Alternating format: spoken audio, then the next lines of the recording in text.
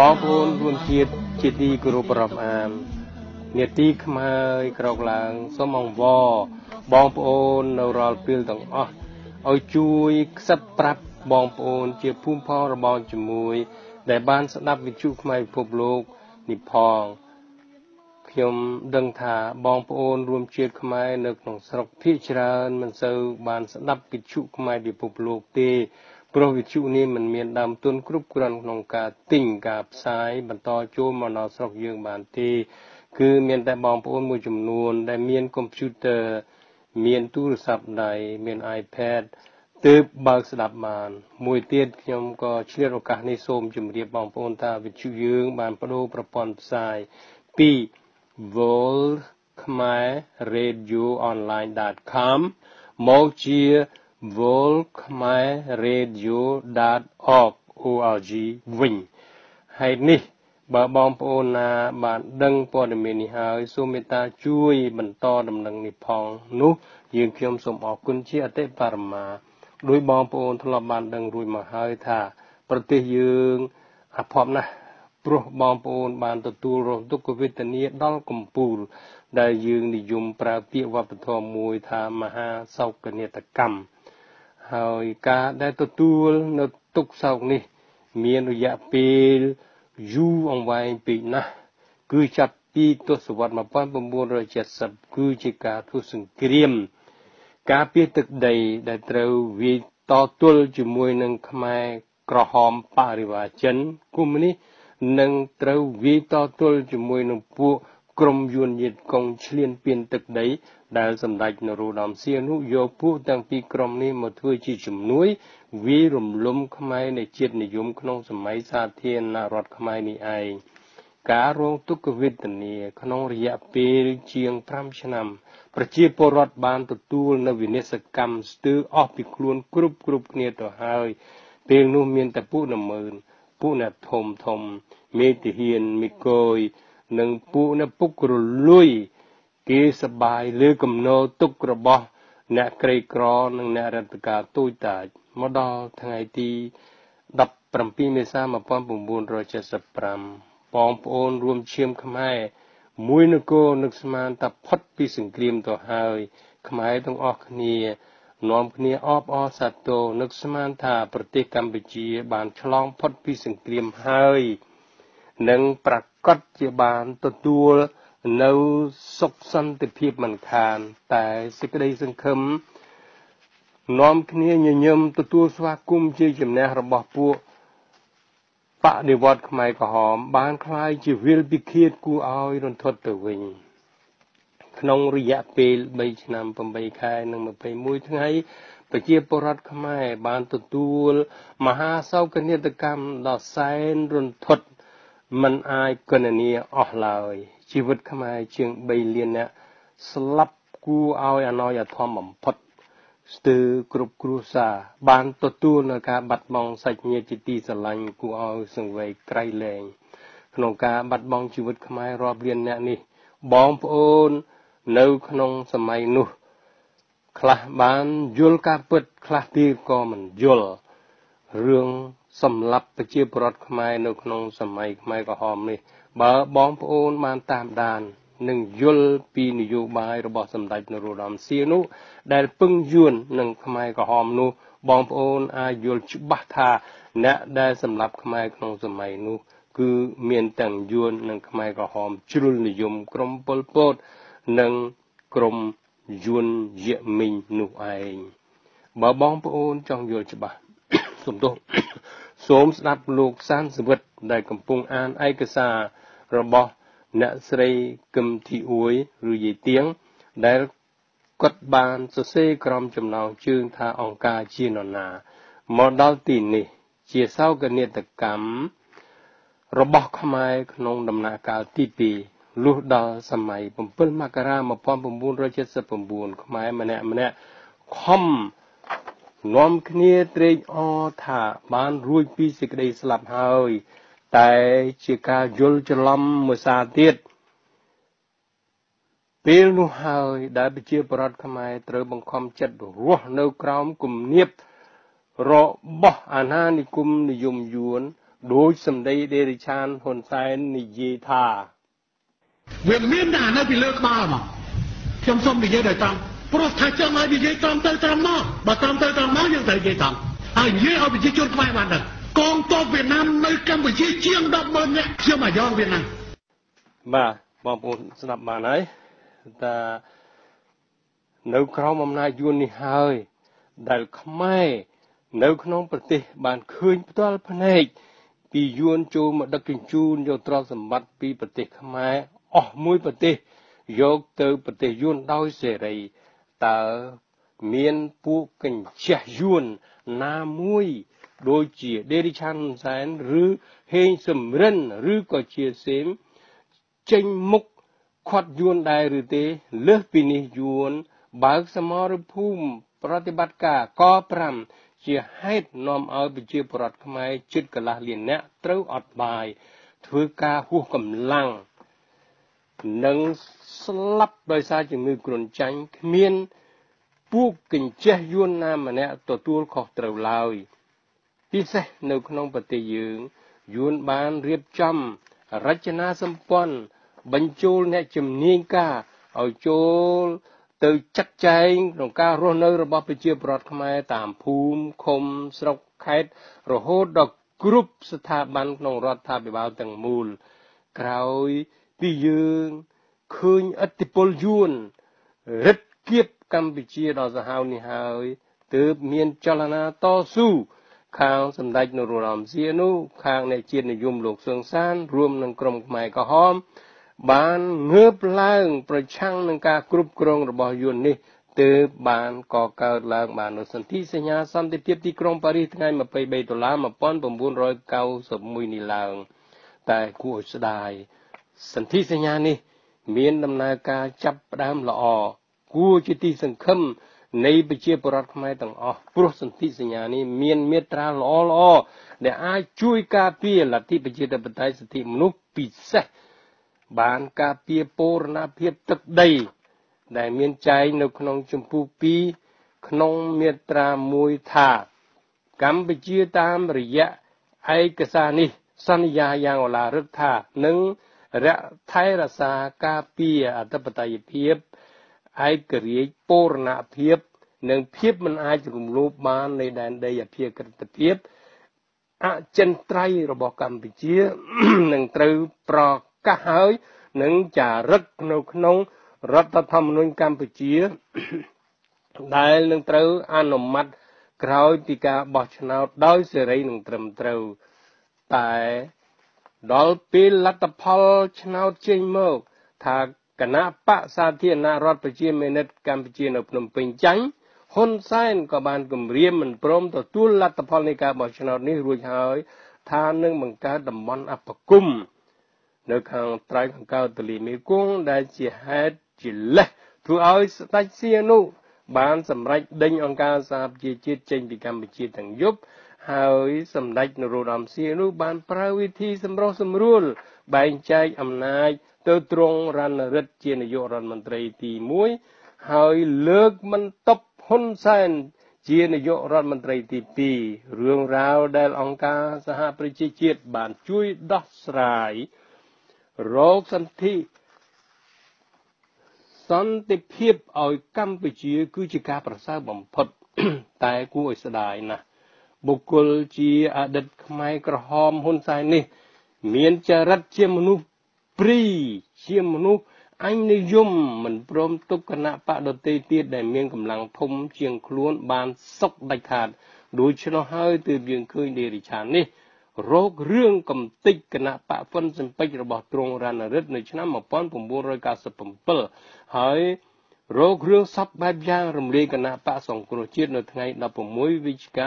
2017កន្លងមកនេះនិយាយរួមមកឃើញថា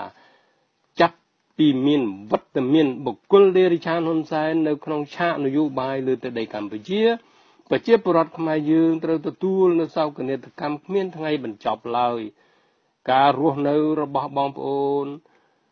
រួមជាតិសំនឹងកវីក្រមងុយ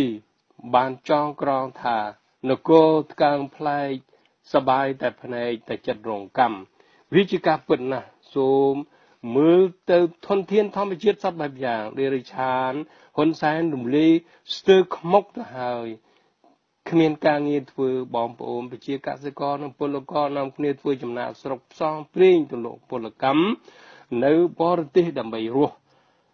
ឲ្យទៅដល់ថ្ងៃ7មករាជារៀងរាល់ឆ្នាំដេរិឆានហ៊ុនសែនតែងតែអួតក្អេងក្អាង លើកកម្ពស់ដឹងគុណយួននោះ វាជាការបោកប្រាស់ដល់កូនខ្មែរគឺមិនត្រូវអនុគ្រោះឲ្យវាដាច់ខាត ការអួតពី7មករាកន្លងមកនឹងបន្តអួតរាល់ឆ្នាំនឹងនៅឆ្នាំនេះក្តីគឺជាឆ្នាំបំពុលដល់កូនខ្មែរ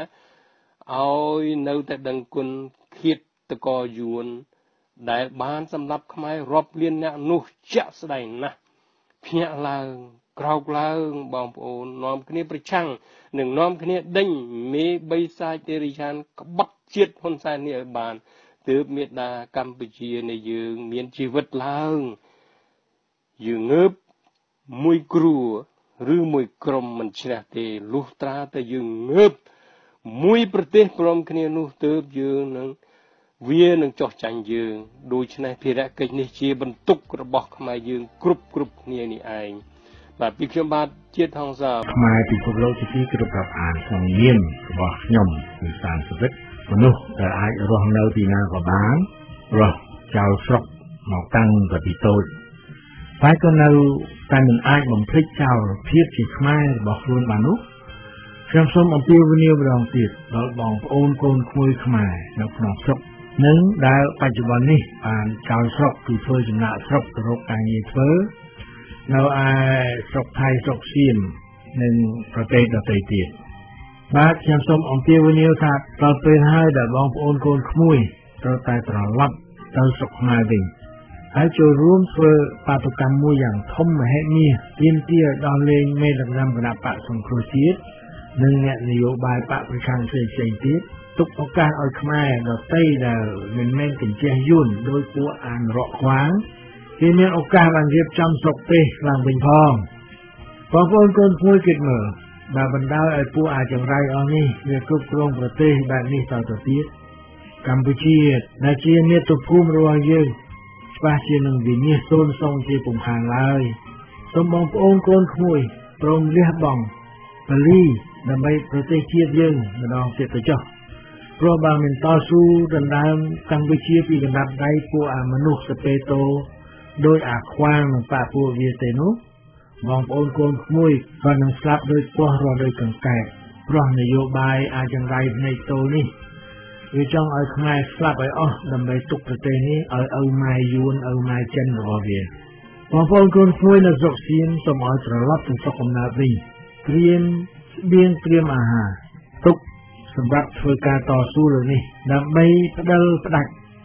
ក៏អាអសរពឹសហ៊ុនសែននេះឲ្យបាន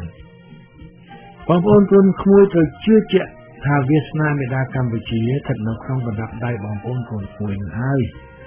យើងមានអ្នកស្នេហាជាតិរងចាំជួយបងប្អូនកូនក្មួយនៅគ្រប់ទិសទីដូច្នេះសូមកុំបារម្ភថា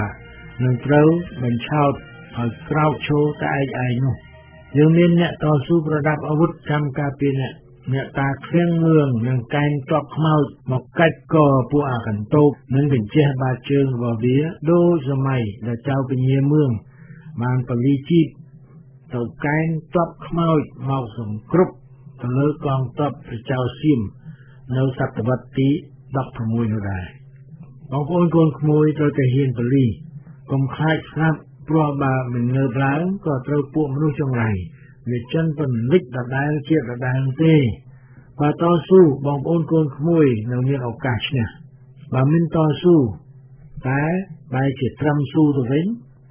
បងប្អូនកូនក្មួយក៏នឹងមានជីវិតឥតន័យដោយសពថ្ងៃតទៅទៀតគឺមានតែស្លាប់ហើយនឹងស្លាប់តែប៉ុណ្ណោះបញ្ហារបស់ស្រុកខ្មែរយើងគឺពួកអាមេដឹកនាំ ចង្រៃចង្រៃនឹងវាចាត់ទុកអ្នកដែលមិនគ្រប់គ្រងពួកវាជាសត្រូវហើយវានៅអួតអាងថានេះគឺជាលទ្ធិប្រជាធិបតេយ្យទៅទៀតវាទៅប្រជាធិបតេយ្យដោយមិនបានបើប្រជារាស្ត្រត្រូវពួកវាជិះចិនមិនអើពើអានេះនោះខ្វះរត់ចោលស្រុកស្ទើរអស់ព្រោះរដ្ឋាភិបាលអាខ្វាងវាមិនរកការងារឲ្យពួកគាត់ធ្វើវាមិនជួយកសិករខ្មែរថែម វាបើកដៃឲ្យពួកអាកន្តោបចូលមកធ្វើស្រែចម្ការប្រជែងនឹងអ្នកស្រែអ្នកចម្ការខ្មែរនេះទៅទៀតបានមានថាស្រូវដំឡូងស្វាយទាំងស្វាយស៊ីផ្លែទាំងស្វាយចន្ទីវាមិនមានគម្រោងលូកដៃចូលមកជួយឲ្យខ្មែរចេះកែច្នៃប្រឌិតជាផលិតផលអ្វីទាំងអស់មួយទៀតគឺឧស្សាហកម្មឈើរដ្ឋាភិបាលដែលគេឆ្លាតគេមិនបណ្ដោយឲ្យមានការកាប់បំផ្លាញឈើ ដោយសពថ្ងៃនេះហើយដឹកឈើទាំងហុបទាំងហុបយកទៅលក់ឲ្យបរទេសឬទៅលក់ឲ្យយួនបើឆ្លាតគេប្រហាននាំឈើហុបចេញនាំឈើអាបានព្រោះយ៉ាងហើយណាក៏មានការងារឲ្យបងប្អូនខ្មែរយើងធ្វើតែល្អបំផុតប្រហានមិនឲ្យមានការកាប់បំផ្លាញឈើដោយសពថ្ងៃព្រោះប្រៃឈើផ្ដល់នៅអនុផល ដល់ប្រជាពលរដ្ឋខ្មែរជាច្រើនឥឡូវអស់ឈើតើគាត់បានស្អីរកទទួលទានរឿងនេះយើងឃើញថាវាជាផែនការរបស់ពួកអាចយ៉ាងไรអានរកខ្វាងវាមិនអាចគ្រប់គ្រងវិស័យអ្វីបានម៉ាក់មួយសោះទេបាទបាទវិស័យនេសាទមិនថានេសាទទឹកសាបនេសាទទឹកប្រៃខ្មែរដាច់យ៉ៃដាច់ពោះស្លាប់ព្រោះរដ្ឋាភិបាលអាចោលភ្នែកទល់ បណ្ដោយឲ្យយួនធ្វើអង្គធ្វើអាត់ស្រេចតែនឹងចិត្តនៅលើផ្ទៃទឹកនៃប្រទេសកម្ពុជាហើយចង្រៃនឹងវាខ្វាក់រហូតដល់មើលមិនឃើញថាបឹងទន្លេសាបពោពេញទៅដោយភូមិអណ្ដែតទឹករបស់យួនវាខ្វាក់រហូតដល់មើលមិនឃើញថាខ្មែរដែលពឹងពាក់លើអនុផលព្រៃឈើកំពុងតែដាច់ពោះស្លាប់ពួកគាត់លែងមានឱកាសធ្វើអ្វីដើម្បីរស់បានទៀតហើយធ្វើយ៉ាងណាទៅទៅខ្មែរយើងដឹងខ្លួនថាកំពុងតែត្រូវច្រក ពួកអាចង្រៃដែលក្តាប់អំណាចវាលក់សម្បទានឲ្យក្រុមហ៊ុនចិនក្រុមហ៊ុនយួនពួកវាបានលុយហើយក៏មិនរវល់អើពើអ្វីនឹងការដែលក្រុមហ៊ុនសម្បទានទាំងនោះទៅធ្វើបាបប្រជាពលរដ្ឋខ្មែរអ្នកក្រីក្រដែលរស់នៅបានដោយសារការដាំដុះបន្តិចបន្តួចលើដីដែលពួកអាសត្វទាំងរៃខ្វាងវាប្រកាសថាជាដីរដ្ឋជាដីមានម្ចាស់ គឺស្រេចតែនឹងក្បាលចិត្តវាចង់ថាអីក៏ថាទៅនោះបានមានចាំបាច់ឲ្យខ្ញុំបាទរៀបរាប់លើកយកឧទាហរណ៍នៃភាពអយុត្តិធម៌សង្គមយកមកនិយាយច្រើនទៀតទេបងប្អូនគូនចៅឃើញនឹងភ្នែកឆ្លងកាត់ជាក់នឹងខ្លួនឯងកាត់ទៅហើយដូច្នេះប្រណាត់គ្នាក្រោកឈរឡើងនៅថ្ងៃទី10កក្កដា2018ក្នុងឱកាសខួបទី2 នៃការធ្វើជាតិលោកបណ្ឌិតកម្មលីដោយពួកអាចង្រៃខ្វាងដែលនៅពីក្រោយមរណភាពលើនេះអរលោកអ្នកនាងមានស្ដាប់ជាទីគោរពរាប់អានសេចក្តីអំពាវនាវមួយទៀតគឺខ្ញុំសូមឲ្យបងប្អូនកូនក្មួយកុំទៅចូលរួមការបោះឆ្នោតលើនេះឲ្យសោះដែលនៅសល់តែ60ថ្ងៃទៀតប៉ុណ្ណោះនោះបងប្អូនកូនក្មួយត្រូវនាំគ្នាធ្វើបាតុកម្មប្រឆាំងនឹងពួកអនុរដ្ឋថ្មិលអន្តរជាតិដឹកនាំដោយអាខ្វាក់ខ្វាង អ្នកណាថាខ្ញុំមិនអាក្រក់មិនដែរថោកទៀតឥតពូជអម្បូរគ្មានសុជីវធម៌ឬសវរវីវៃនឹងសូមអញ្ជើញថាទៅចុះថាទៅដែលខ្ញុំជេរអាចង្រៃហ៊ុនសែននិងស្ម័គ្រតពួកក្រុមគ្រួសាររបស់វាព្រោះវាធ្វើបាបខ្មែរជ្រុលពេកបាទធ្វើបាបទាំងប្រជាជនធ្វើបាបទាំងអ្នកដាកម្ពុជាអានេះទោសកំហុសរបស់វាត្រូវស្លាប់អស់7ជួរពូជបាទកំហុសពួកវាធ្ងន់ធ្ងរខ្លាំងណាស់ចាំបាច់ ខ្ញុំត្រូវតែជេរបាទជេរប៉ុណ្ណឹងក៏នៅមិនទាន់ស័ក្តិសមនឹងអំពើក្បត់របស់ពួកវានោះទេទីឯបងប្អូនខ្មែរនៅក្រៅប្រទេសជាពិសេសនៅថ្ងៃសុក្រទី1មិថុនាខាងស្អែកនេះសូមអញ្ជើញចូលរួមការបោះឆ្នោតសូមអញ្ជើញចូលរួមការធ្វើបាតុកម្មនៅបរិយាញូវយ៉កបាទក្រុមត្រួតត្រងគណៈបកសង្គ្រោះជាតិនៅសហរដ្ឋអាមេរិកគឺក្រុម CNRP USA គេនឹងរៀបចំធ្វើបាតុកម្មធំមួយនៅឯញូវយ៉កបាទខ្ញុំបាននិយាយជាមួយនឹងលោកក្មួយម៉ារ៉ាឈិនអនុប្រធាននៃក្រុម CNRP USA កាលពីម្សិលមិញលោកក្មួយបានប្រាប់ខ្ញុំអំពីការធ្វើបាតុកម្មនេះដែលខ្មែរអ្នកជាទាំងឡាយគួរតែទៅចូលរួមឲ្យបានកុសកបាទខ្ញុំសូមអភ័យទោសដែលសម្លេងថតមិនបានច្បាស់ល្អនឹងឲ្យខលទៅសុំឲ្យលោកក្មួយ ប្រកាសជាថ្មីឬក៏យប់ជ្រៅណាស់ទៅហើយបាទសូមជួយស្ដាប់សេចក្តីប្រកាសដូចតទៅបាទជឿគូថាអថ្នាក់កម្មការក្រុមលោករដ្ឋបាលកម្ពុជាប្រចាំថារដ្ឋហៅថាថាពីពីនោះទេបានធ្វើបាតកម្មអបកម្មមួយនៅទីក្រុងនយោយកនៅមុខអង្គការសហប្រជាជាតិដែលយើងមកដល់ធ្វើនៅថ្ងៃសុក្រខែ6ទី1ឆ្នាំ2020ដើម្បីនៅសប្តាហ៍នេះបាទ បំណងយើងធ្វើគឺយើងចង់ឲ្យញ៉ាំដាក់ទៅឲ្យអាចទេកកម្មរបស់ជប៉ុនដែលប្រចាំនៅអង្គការសហប្រជាជាតិហ្នឹងដើម្បីឲ្យគាត់មកចេញពីការគ្រប់គ្រងលើធ្វើការបោះឆ្នោតនៅក្នុងប្រទេសកម្ពុជាហើយមួយទៀតយើងធ្វើតាមពីនេះដើម្បីបង្ហាញដល់ជាគាត់ព្រមឲ្យចូលការបោះឆ្នោតទៅពីការមកចូលបោះឆ្នោតបាទជាការមួយដែលយើងធ្វើបដកម្មនេះគឺជា ជំរឿនមិនមែនចង់ខ្លាចទេបាទទៅពេលពេលដែលយើងត្រូវធ្វើហើយយើងជ្រើសរើសប្រាប់ឲ្យខាងជប៉ុនគេមានការចាត់ដល់ការគ្រប់គ្រងឬក៏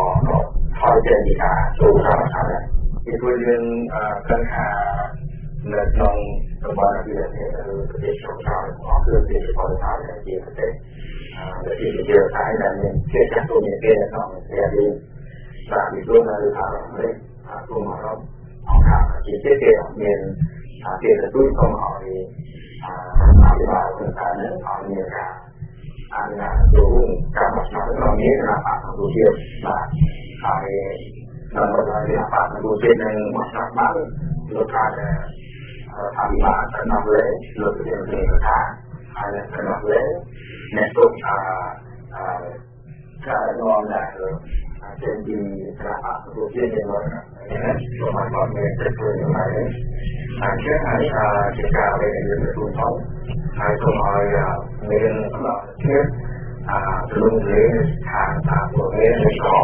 ក៏គុំអង្គការលើនេះឲ្យបានចូលរួមសង្កេតការណ៍ណាអូខេអញ្ចឹងអ្វីដែលយើងបានក្នុងរងមកគឺវាអត់មានឃើញបាទអត់មានឃើញស្វ័យមកអញ្ចឹងនៅពេលពេលដែលយើងត្រូវធ្វើកិច្ចការមួយដើម្បីជជែកទៅដល់ រដ្ឋាភិបាលក៏នៅជាអពីការការជាការជារបស់ប៉ុន្តែអង្គការប្រជាគឺថាជាប្រវត្តិរបស់បងប្អូនជារដ្ឋបាលនៃការនៃការប្រទេសនេះគឺយើងចង់ឲ្យមានការស្លាប់នោះមួយដោយវិធាននៅប្រទេសកម្ពុជាហើយយើងចង់ឲ្យមានអឺរបបនៅលើទីជាតែប្រតិបត្តិមួយរបស់យើងថា ធ្វើការមកឆ្នោតនៅប្រងគេយ៉ាងនេះវាអត់តាមតែអ្វីយើងធ្វើហើយហើយណាយើងជួបជុំគ្នានៅត្រង់ណាកន្លែងណាម៉ោងប្រហែលអឺយើងជួបជុំគ្នានៅតាមកម្មវិធីតាមមានជាមួយទេពីដាក់តាទៅគូសើគាត់នេះថានៅនៅហើយយើងចាប់បានជួបជុំម៉ោង11ទៅដល់ម៉ោង2រសៀលបាទមួយរសៀលហើយនៅក្នុងអាស្វានយើងមានបាក់អត់អត់ទៅតែហើយអានេះនៅទូរស័ học học được rồi là hỏi nhất lô tuổi tắm thì thành ra được. Tôi có một buổi rất tốn rất mong buổi tắm thì អូខេតើតោងលោកក្មួយហ្នឹងលេខប្រហែលគឺអត់ហើយជាជាទៅតាមចូលទៅណាក្មួយទៅតាមការរបស់ខ្ញុំខ្ញុំចេះហើយទៅតាមលេខអឺ8 4 3 9 3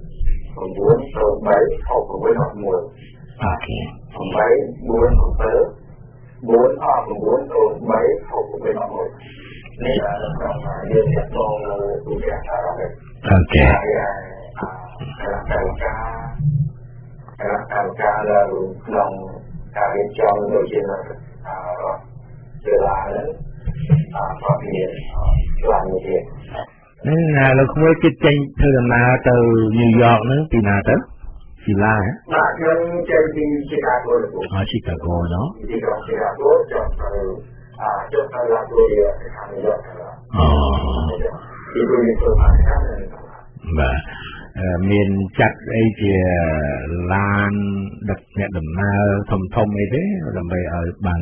អ្នកចង់បានទៅច្រើនអ្នកអញ្ចឹងបាទអានៅហើយយើងជាការខ្ញុំគុំជាដល់បងប្អូននៅជាប្រទេសនៅខាងរដ្ឋនាទីចេញទៅហើយ គណៈកម្មការយើងក្នុងវិទ្យាយើងមកពីចំយើងមានអឺមកមកយើងបានជួយបត់បត់ពួកពួកមកមានអេកនេះចឹងមានប្រពន្ធតាមតាមតាមចេះសូមជាប្រស្មារតីនៅលោកបាយទីក្រុងលោកបាយឡារដ្ឋមន្ត្រីទាំងសូមចូលរួមសូមចូលរួមមកជាមួយការការជាមានមកពីអាហើយនឹងមកជួយពលហើយនឹងអ្នកព្រះនឹងធ្វើបានជា какая его конкуренция,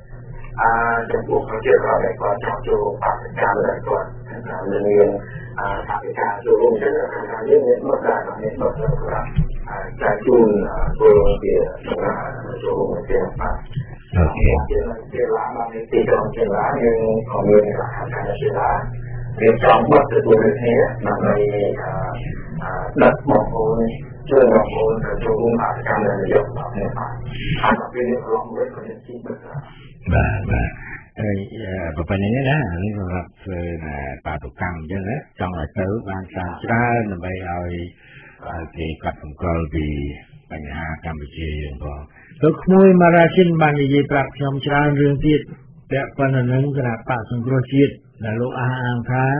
មិនសិនរលំរលាយបាត់ ដោយដែលពួកអាចង្រៃខ្វាងវាប្រកាសនោះទេក្រៅពីនេះលោកក៏បានអធិប្បាយអំពីការបែកបាក់របស់បកនិងជួននីតិរបស់លោកសំរងស៊ីក្នុងបញ្ហាទាំងអស់នេះបាទខ្ញុំគ្មានសម្លេងយកមកចាក់ជូនទៀតទេសូមអភ័យទោសអរលោកនេះជាទីមេត្រីរឿងរបស់យើងសែនស្មុគស្មាញព្រោះយើងខ្វះអ្នកដឹកនាំល្អល្អយើងមានតែមនុស្សអសមត្ថភាពចិត្តចង្អៀតអញនិយម ហើយច្រើនតែផ្ដាច់ការបាទតើកាលណាទៅទៅយើងអាចជួយទៅយើងអាចជួបនឹងមេដឹកនាំល្អល្អដែលមានឧត្តមគតិពងខ្ពស់ទស្សនវិស័យវែងឆ្ងាយមិនចង្អៀតចង្អល់មិនពុករលួយមិនលោភលន់គឺមេដឹកនាំដែលមានទស្សបារមីឬយ៉ាងហោចណាស់ក៏ជាអ្នកកាន់សិល5ដែរដែលក្នុងនោះមានទី1 មិនសាហាវព្រៃខ្សៃកាប់សម្លាប់អ្នកដទៃ2មិនលួចមិនប្លន់យកទ្រព្យសម្បត្តិអ្នកដទៃ3មិនខុសក្នុងកាមជាមួយនឹងស្ត្រីដែលជារបស់អ្នកដទៃ4មិនកុហកម្ដងនិយាយអីចេះម្ដងនិយាយអីចោះធ្វើការបោកប្រាស់ចង់បានទ្រព្យសម្បត្តិផលប្រយោជន៍ពីអ្នកដទៃនិង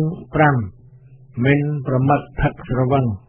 គួរទីនួធ្វើអំពើថោកទៀតនិយាយថោកទៀតភ្លេចខ្លួនមិនដឹងថាខ្លួនធ្វើអីអរលោកនាងជាទីមេត្រីខ្ញុំចេះតែនិយាយបែកសារយាម៉ូមែនទេហើយថ្ងៃនេះខ្ញុំចង់ជម្រាបមិត្តអ្នកស្ដាប់ដែលជាសមាជិកសហគមន៍បរិយអង្គរនៅរដ្ឋ North Carolina ដែលមិនដឹងជាមកពីហេតុអ្វីទេបានជាភារកិច្ចជាអ្នកដឹកនាំគម្រោងមួយនេះ បានត្រូវធ្លាក់មកជាបន្ទុករបស់ខ្ញុំបាទចាប់ពីថ្ងៃសៅរ៍ទី26អូសភាមកនោះខ្ញុំអង្គុយមិនសប្បាយចិត្តជាខ្លាំងខ្លាចមិនអាចបំពេញតួនាទីបានដល់ត្រើយបាទតែក៏មានមិត្តអ្នកស្ដាប់អ្នកគ្រប់គ្រងជាច្រើនបានទូរស័ព្ទនិងសរសេរសម្បត្តិមកអបអរសាទរលើកទឹកចិត្តហើយក៏មានបងបងមួយចំនួនដែលខ្ញុំបានទូរស័ព្ទទៅសុំឲ្យជួយ បានសន្យាថានឹងតាមដានហើយជួយណែនាំសូមកុំឲ្យខ្ញុំបារម្ភខ្លាំងពេកមុននេះបន្តិចលោកបងអៀងលីវពី Washington DC បានសរសេរអ៊ីមែលមកសួរខ្ញុំថាលោកបងចង់មកជួយខ្ញុំក្នុងរឿងបរិយអង្គរខ្ញុំក៏សែនអរព្រោះចង់ឲ្យបងប្អូនកូនក្មួយប្រហែលជាបានតែបងបងប្អូនប្អូនទេព្រោះក្មេងក្មួយក្មួយគេមិនសូវទំនេរ គឺខ្ញុំចង់ឲ្យសមាជិកដែលចូលរត្រែកហើយសាកលបងវ៉ាកងមកស្នាក់នៅបរិយអង្គរលេងខ្លះទៅខ្ញុំសន្យាថានឹងមិនប្រកោះបោះបោកមិនប្រើពាក្យសម្ដីយងខ្នងមិនបញ្ជាឲ្យធ្វើការដោយទាសាទាស័យគឺខ្ញុំនឹងទុកបងបងប្អូនប្អូនថាជាអ្នកមកសម្រាប់កាយឲ្យសบายចិត្តហើយសម្គិតរកផ្លូវដើរតទៅមុខជាមួយគ្នា ក្នុងចន្លោះពេលដែលយើងរងចាំការធ្វើប្លង់មេប្លង់កូនស្អីអស់នឹងបាទយើងអាចធ្វើអ្វីបណ្ដាបណ្ដាក៏បានបាទជួយគ្នាគិតជួយគ្នាគូខ្ញុំសូមរំលឹកថាគម្រោងរបស់យើងក្នុងសុបិនគឺយើងចង់ធ្វើអ្វីដែលវាល្អអស្ចារ្យបាទមកធ្វើកំពេចកំប៉ុកកុំធ្វើល្អជាងព្រោះគ្មានអ្នកណាគេ ចង់ធ្វើដំណើរមករាប់រយគីឡូដើម្បីមកមើលរបស់កំពេចកំពកមិនអស់ចាមិនប្លែកមិនអ្វីនោះទេបាទដូច្នេះចាំបាច់ត្រូវប្រើពេលព្រមទាំងលុយកាក់សម្បើមខ្លាំងណាស់ដើម្បីធ្វើឲ្យសបិននេះខ្លាយទៅជាការពិតបានចំពោះពេលវេលាពួកយើងខើចណាស់ហើយបាទយើងគ្មានពេលគ្រប់គ្រាន់ទេតែនឹងព្យាយាម ចំណែកឯរឿងលុយកាក់វិញយើងក៏មិនជាមានអ្វីច្រើនតែក៏នឹងព្យាយាមស្វែងរកព្រមមានវិធីរកលុយបានច្រើនយ៉ាងបាទយើងនឹងសាក់កម្លាំងកាយកម្លាំងចិត្តកម្លាំងគំនិតប្រាជ្ញាជួយគ្នារិះរកយើងច្បាស់ជាអាចរកបានបាទត្រឡប់មកសំណួររបស់លោកបងអៀងលាវសំណួរទី1ខ្ញុំមិនសូវយល់ប្រមាណទេគឺលោកបងសរសេរថាលោកប្អូនហៅឈ្មោះអ្នកមិនបងគ្រប់ ដាក់កាលកំណត់មួយខែគឺឲ្យខ្ញុំប្រកាសឈ្មោះរបស់សមាជិកដែលបងប្រាក់មិនទាន់គ្រប់ហើយដាក់កំណត់មួយខែបើមិនបងឬមិនតវ៉ាជាហេតុផលអ្វីមិនថាដោយសារហេតុផលអ្វីទេនោះយើងនឹងយកដីនោះលក់ឲ្យអ្នកផ្សេងគ្រាន់តែបងលុយបងគ្រប់ជាការស្រេចដីនោះលក់ឲ្យតែសមាជិកណាដែលបានបងលុយគ្រប់ចំនួន ហើយខ្ញុំមិនយល់គឺត្រង់ថា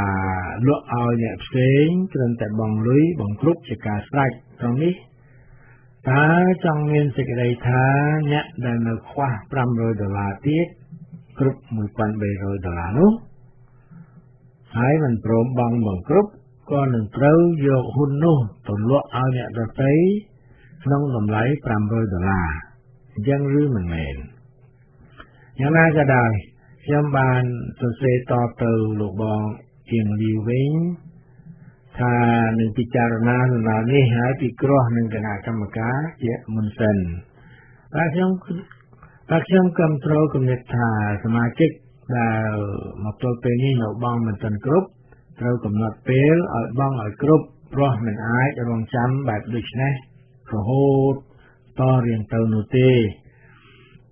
យើងអាចកំណត់ពេល1ខែ2ខែ3ខែ4ខែឬក៏រហូតដល់ដាច់ឆ្នាំសូមឲ្យបងឲ្យបានតែបើធ្វើដូច្នេះយើងនឹងខាតពេលយូរបាទព្រោះយើងត្រូវការលុយយកទៅធ្វើប្រងមេបាទដល់ពេលកំណត់ហើយដូច្នេះកំណត់ថា2ខែទៀតអីចឹងទៅហើយដល់ពេលកំណត់ហើយយើងអាចសុំបដូរលុយដែលបងប្អូនបានបងមកហើយនោះហើយទៅជាអំណោយឬវិភាគទាន ជួយទ្រទ្រង់សហគមន៍បរិយអង្គរវិញរីឯម្ចាស់ភាគហ៊ុនដែលបងមិនគ្រប់ក៏នឹងត្រូវបដូរសភាពពីសមាជិកមកជាអ្នកគ្រប់គ្រងបរិយអង្គរវិញដែរតែរឿងនេះយើងនឹងសម្រេចយ៉ាងណារងចាំមើលតទៅទៀតបាទសំណួរទី2បើមានសមាជិកណាចង់មកជួយតើមានផលអ្វីខ្លះដល់អ្នកមកជួយ បាទខ្ញុំបានតបទៅវិញថាផលប្រយោជន៍ចំពោះអ្នកមកជួយក្នុងដំណាក់កាលដំបូងបែបនេះក៏ឃើញមានតែភាពឆ្អែតបុណ្យក្តីសោមនស្សរីករាយដែលបានចូលរួមការជួយសាងសង់នៅគម្រោងដ៏ធំមហិមាដ៏អស្ចារ្យដែលកម្រនឹងមានខ្មែរយើងណាមានឱកាសបានចូលរួមធ្វើនោះមានសមាជិកយើងច្រើនអ្នកណាស់ បានចូលមកជួយក្នុងដំណាក់កាលចាប់ផ្ដើមគម្រោងនេះដោយអេតបានទទួលរង្វាន់ខាងខៅឬបៀវត្តអ្វីនោះទេក្នុងពាក្យលាចុះចេញពីតំណែងរបស់លោកលោកប្រធានអោសឿមក៏បានរៀបរាប់យ៉ាងក្បោះក្បាយផងដែរនៅពលីកម្មគឺការលះបង់របស់លោកក្នុងរយៈពេលជិត6ឆ្នាំកន្លងមកនេះពួកយើងដែលជាសមាជិក ក៏បីដឹងគុណលោករឿងនេះផងដែរដូចខ្ញុំបាទបានជម្រាបកាលពីថ្ងៃច័ន្ទកន្លងមកនេះស្រាប់បាទបាទសមាជិកដែលបានស្ម័គ្រចិត្តចូលមកជួយធ្វើបរិយអង្គរឲ្យមានរូបរាងទ្រង់ទ្រាយដោយសពថ្ងៃស្បីបើមិនទាន់មានអ្វីដែលអាចចាត់ទុកថាជាអច្ឆរិយវត្ថុបាននៅឡើយនោះក៏ឃើញមានលោកយសរុន លោកថៃចន្ទធីលោកខណ្ឌសុកលោកថៃគៀលោកសុនសម្បូរលោកភួងផលលោកអ៊ីនសេរីលោកផាវនិងអ្នកស្រីសំណាងយ៉ៃលោករស់និងអ្នកស្រីសុគន្ធានិលហើយនឹងលោកអ្នកនាងជាច្រើនអ្នកទៀតបាទមកពីទីចិត្តទីឆ្ងាយសុទ្ធតែបានមកជួយបរិយអង្គរដោយមានតែទិញអង្គរទិញទឹកយកមក ជួយបាទបលឡានមកពី Georgia ពី Charlotte ឡាក់នឹងឡាក់ក៏មិនដែលទៀមទាថ្លៃសាំងពីសមាគមយើងនោះទេ គឺគេបានលះបង់ច្រើនណាស់ដើម្បីសហគមន៍ដោយអង្គររបស់យើងបាទសំណួរទី3គឺថាបើជួល mobile home គឺពួក prefabricated home ផ្ទះដែលធ្វើរួចស្រេចហើយយកមកដាក់នៅយកមកដាក់នៅតើមានលក្ខខណ្ឌអ្វីខ្លះស្រួលអ្នកមកកំដរបាទរឿង mobile home នេះក៏ម្យ៉ាងដែរបើជួលគេបានប្រហែលជាមិនមានបញ្ហាអ្វីទេព្រោះมันបានធ្វើជាស្ថាពរហើយខ្ញុំបានសាកសួរលោកគណៈសុកជាលេខារបស់ គណៈកម្មការពីរឿងទិញផ្ទះដំឡើងស្រាប់មកហើយយកមកដាក់នៅតាមដីឡូសមាជិកតើបានឬមិនបានលោកលោកគណៈសុកបានប្រាប់ថាខាង county គេមិនសូវរីករាយនឹងនេះទេគឺគេចង់ឲ្យយើងសង់ផ្ទះទៅវិញនេះបើជារឿងយូរអង្វែងតែសម្រាប់គំនិតជួលកូនផ្ទះ ready made ឬក៏ហៅ modular house modular home ហ្នឹងតាមខ្ញុំសិក្សាបន្ថែមមើលបាទតាមសាកសួរទៅខាង county ទៅខាង city hall អីចឹងតើគេយល់ព្រមឲ្យយើងទិញផ្ទះស្រាប់ស្រាប់មកទេខ្ញុំថាមិនគួរមានបញ្ហារឿងនេះបាទខ្ញុំឃើញនៅក្នុងអ៊ីនធឺណិតក្រុមហ៊ុន eBay គេដាក់លក់បាទផ្ទះមាន បន្ទប់ដេកដល់ទៅ3បន្ទប់ទឹក1កន្លះហើយទំហំផ្ទៃ10000 56ហ៎10000 square feet ឬ98ម៉ែត្រដុល្លារតម្លៃតែចន្លោះ3ទៅ40000ដុល្លារប៉ុណ្ណោះបាទថ្លៃដែរតែផ្ទះនេះស្អាតសម្រង គេដឹកយកមកឲ្យក្នុងតម្លៃ500ដុល្លារបាទថ្លៃដឹកយ៉ាងណាក៏ដោយខណៈនេះទីស្នាក់ការដំបូលក្រហមក៏នៅមានបន្ទុកច្រើនដែរគ្រាន់តែពេលនេះមើលស្ទើរមិនបានព្រោះបណ្ដាអសន្នទេបាទឃើញចងយ៉ាងណូនរកេតរកូតដូចបន្ទប់លប់ឡាយបើយើងមិនដាក់ទុនបន្តិចទៅបែងចែកជាបន្ទប់ឲ្យត្រឹមត្រូវអាចនឹងល្អមើលជាងនេះ យ៉ាងណាក៏ដោយយើងក៏នៅមានសាលាបុណ្យតែសាលាបុណ្យហ្នឹងមានបន្ទប់មួយឬពីរទៀតអាចជ្រោកថ្ងៃជ្រោកភ្លៀងជ្រោកទឹកកកបានអរលោកអ្នកនាងជាទីមេត្រីខ្ញុំនៅតែប្រកាសជូនដំណឹងដដែលដដែលថាលោកអ្នកនាងជាសមាជិកដែលប្រាថ្នាទៅស្នាក់នៅបរិយាអង្គរខ្ញុំសូមអញ្ជើញបាទស្ថានភាពនៅព្រៃផ្សៃនៅឡើយ គឺមិនទាន់មានអ្វីទំនើបឬស្អាតបាតដូចក្នុងការយល់សុបិនរបស់យើងនៅឡើយទេតែលោកអ្នកនាងអាចទៅនៅបានហើយជួយគ្នាក៏វេកក៏ឆ្នាំងនៅទីនោះបាទខ្ញុំមិនដឹងទេថាបរិយអង្គរ Inc ធ្លាប់មានក្រុមប្រឹក្សាភិបាលដែរឬក៏អត់គួរតែមានបាទព្រោះថាក្រុមហ៊ុនទូទៅគេតម្រូវឲ្យមាន នៅក្នុងលក្ខន្តិកៈរបស់បរិយអង្គរ ជំពូក7ស្ដីពីក្រុមប្រឹក្សាភិបាលឬ advisory board ដែលខ្លះគេហៅថា board of directors នឹងមាត្រា11ចែងដូចនេះបាទក្រុមប្រឹក្សាវិបាលរបស់សហគមន៍រៃអង្គរចាំបាច់ត្រូវតែជាជនដែលមានកេរ្តិ៍ឈ្មោះមានបទពិសោធន៍ក្នុងការងារសង្គមនិងជាអ្នកដែលលះបង់ខ្ពស់មានឆន្ទៈចង់ចូលរួមអភិវឌ្ឍសង្គមខ្មែរអាមេរិក ពិសេសសហគមន៍រៃអង្គរសមាជិកភាពក្រុមប្រឹក្សាពិបាលអត់មានកំណត់ចំនួនឡើយដូច្នេះមានប្រមាណអ្នកក៏បានជនដែលត្រូវអញ្ជើញឲ្យចូលរួមជាក្រុមប្រឹក្សាពិបាលត្រូវអញ្ជើញជាលេខលក្ខអក្សរដោយមានចុះហត្ថលេខាប្រធានគណៈកម្មការនយោបាយគឺ management committee បាទឬក៏គណៈកម្មការប្រតិបត្តិនឹង តួនាទីក្រុមប្រឹក្សាភិបាលគឺផ្ដល់យោបល់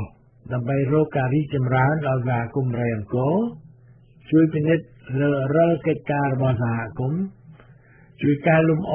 សកម្មភាពការងារជួយតេតងរកថវិកាបម្រើសហគមន៍និងជួយឧបត្ថម្ភទាំងផ្លូវកាយផ្លូវចិត្តនិងថវិកាទៅតាមលទ្ធភាព តួនាទីសំខាន់មួយទៀតគឺត្រូវរក្សាការពារគោលបំណងសហគមន៍រៃអង្គរឲ្យបានជាដាច់ខាតមិនឲ្យរើងាកពីគោលបំណងដើមដែលមានចែងនៅក្នុងចម្ពោះ2អ្នកត្រា2នោះឡើយបាទនេះគឺជាទូនាទីរបស់ទីប្រឹក្សាបាទក្រុមប្រឹក្សាពិបាលបាទខ្ញុំនឹងព្យាយាមធ្វើតាមលក្ខន្តិកៈនេះហើយនឹងសរសេរសម្បត្តិ ផ្ញើទៅអញ្ជើញលោកអ្នកដែលជាសមាជិកហើយដែលមានគុណសម្បត្តិដោយដែលមានរៀបរាប់នៅក្នុងមាត្រា11នោះខ្ញុំបានជម្រាបច្រើនដងហើយថាខ្ញុំមិនសូវស្គាល់អិសរាជជនដែលមានកេរ្តិ៍ឈ្មោះនិងមានបទពិសោធន៍ក្នុងការងារទាំងឡាយនោះទេ មានមួយចំនួនដែលទៅតែនឹងនឹកឃើញក្នុងនោះមានលោកបងម៉ុងប៉ាពីយ៉ុងនៅ Chicago លោកព្រំសុនរានៅ Virginia លោករស់នៅនៅ North Carolina លោកអៀងលីវនៅ Washington DC លោករស់ចន្ទរានៅ California លោកស៊ីនស៊ីនឿននៅ Villa និងលោកអ្នកជាច្រើនទៀតហើយដែលខាងនេះបានគឺលោកអតីតប្រធាន និងអនុប្រធានបរិយអង្គរគឺលោកអោសៀមនិងលោកយសរុនសូមឲ្យជួយបំពេញនាទីជាទីប្រឹក្សាបាទទៅជួយបញ្ហាដែលទីប្រឹក្សាចាស់មិនអាចមិនមិនឃើញមិនមានសកម្មភាពអីអាចនឹងមកពីការតាក់ទងគ្នាបាទតំណែងតំណងមិនបិទដល់ខ្ញុំបានឮតំណែងជាញយថាសមាជិក របស់បរិយអង្គរដែលនៅឆ្ងាយឆ្ងាយមិនសូវបានទទួលដំណឹងដឹងរឿងអ្វីពីបរិយអង្គរឡើយធ្វើឲ្យមួយចំនួនភ្លេចទៅហើយថាខ្លួនគឺជាសមាជិករបស់បរិយអង្គរបាទព្រោះអត់ទៅមានការតាក់ទងគ្នាខ្ញុំនឹងរកវិធីតាក់ទងបាទដោយការទូរស័ព្ទដោយការសរសេរសម្បត្តិទៅរកជាដើមចាំសំពេលមួយរយៈបាទ ខ្ញុំចង់ឲ្យទាំងអស់គ្នាជួយគ្នាដើម្បីជ័យជំនះនៃឧត្តមគតិរបស់យើងយើងមិនប្រណាំងប្រជែងយកឈ្នះយកចាញ់គ្នាឯងនោះទេតែយើងនឹងប្រណាំងប្រជែងជាមួយនឹងពេលវេលាហើយនឹងសត្រូវរបស់យើងបាទអរលោកអ្នកនាងមិត្តអ្នកស្ដាប់ជាទីគោរពរាប់អានថ្ងៃនេះខ្ញុំសូមតែប៉ុណ្ណេះសិនចុះ